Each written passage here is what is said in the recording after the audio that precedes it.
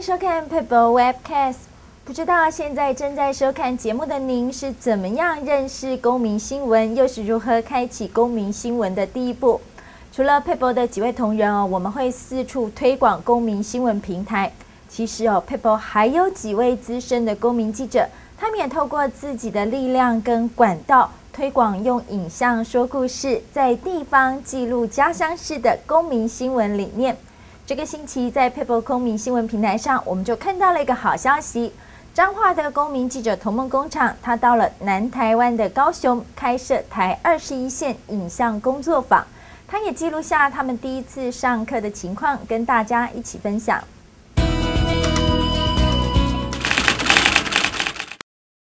是去年到那个高雄那边记录一些呃重建社区嘛。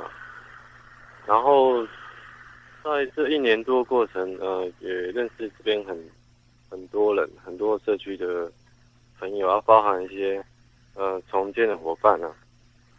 那我发现就是说，呃，他们在记录的这个部分啊，好像比较缺乏啊。我所以就是后来就是有问一下这些一些重建社区的呃伙伴，然后他们也。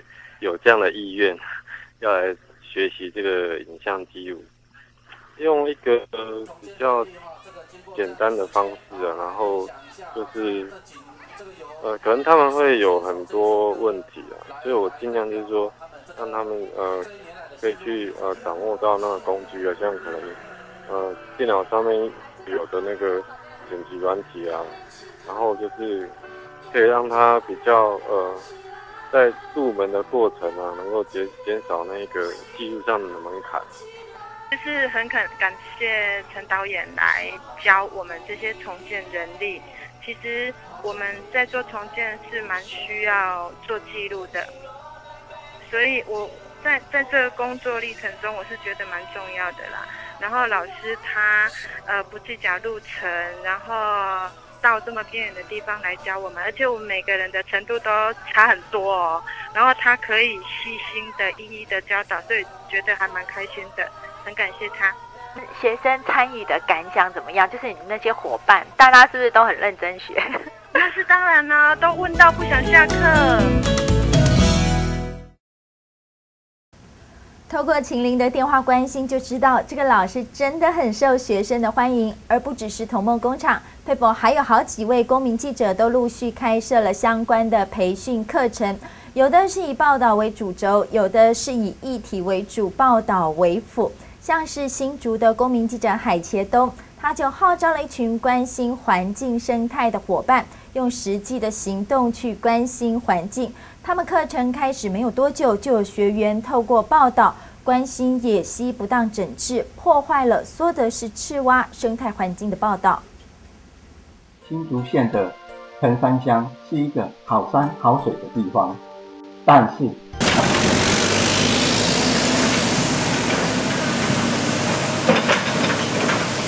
在一场浩劫之后，清澈的溪水变成了浊浊的黄河。让记者带着你来了解这个故事。我们一边很辛苦的在护挖，但是一边看到溪流里头有这样的事情，我们没有办法控制的事情在发生。所以今天早上，呃，志工就嗯赶快跟联络新竹县政府观光处，因为听说是他们那边的发包的工程。有行动也有记录，真的展现了公民主动关心的能动性。而苗栗的公民记者杰利，他也带领了一群伙伴，用实际行动关心苗栗的在地事务。就我接触苗栗社大的一些学员的感觉是，呃，其实他们对一些公共议题，其实其实是关心的啦。那刚好苗栗社大有开这样子公民呃采访的课程，那是一个媒介，那他们有这样子的一个机会，然后去。看去接触到呃一些比较在地地方的议题，那比如像是呃有一组的学员作品，他就是去采访了后龙的十户。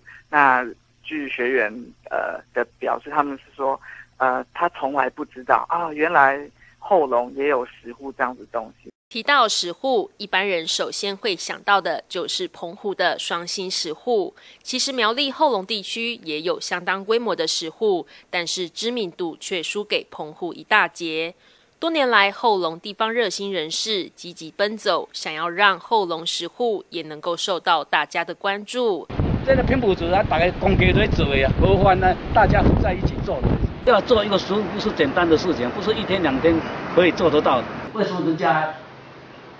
不会来注重这个这个这个我们的文化呢，所以我写这本册出来，包抓地图啦，有诶或者酒喝啦，或者或者刻书啦。虽然剩下这两个，会使讲保再保的再保再哦，报过再报去啦，唔能够叫哦毁毁掉。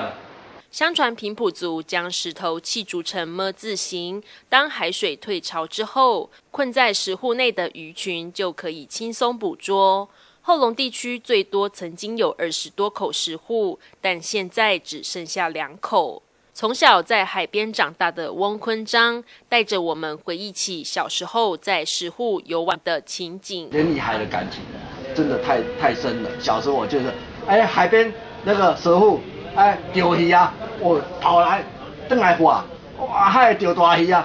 我们用冲的嘞，我那是三搞，人家教我三搞哎，三搞，我是三搞，五分钟、十分钟冲到石户那边，从这里了，不骗你的。所以石户必须要有存在，早就有存在，只是我们没有去爱护它。为了更深入了解石户，公民新闻记者实地走访苗栗县政府国际文化观光局文化资产科，但是却遭到拒访。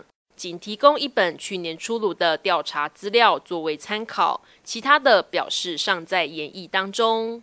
维修的人员已经老了，老了无力维修啊！瓦工在的时候啊，跟我讲那个搬石户的那个大石头一要一百多斤呐，他是靠着双腿啊，用那个麻布袋放着啊，双腿的力量还有手的力量等于这样子搬。一晃进去啊，就不能动啊。然后还有一个是台风的因素，你倒了不赶快做的话，它变成什么？骨牌效应，你就倒。目前后龙石户主要依赖渔民自行修复，再向政府申请工钱补助，因此能暂时维持大概的形状。一定要石户一定要弄出来，一定要弄出来。石户不但是珍贵的文化景观。也相当具有观光教育的发展潜力，它需要政府和地方人士更多的关心，否则石户将有可能永远消失，只能从照片取回忆。公民新闻记者林彦斌、吴新峰、苗栗后龙采访报道。看到有这么多人默默的在推广公民新闻，真的让人很感动，也让公民新闻可以在台湾各地开枝散叶，慢慢的被更多人认识、认同。而我相信哦，老师们在授课的时候可能会遇到寻找教材上的问题。佩博这边也特别设计了一份可以供老师们参考的授课大纲，欢迎有需要的老师可以主动跟我们联络哦。期待透过更多人的一起努力，可以让公民新闻的影响力越来越大。Paper Webcast，我们下次见。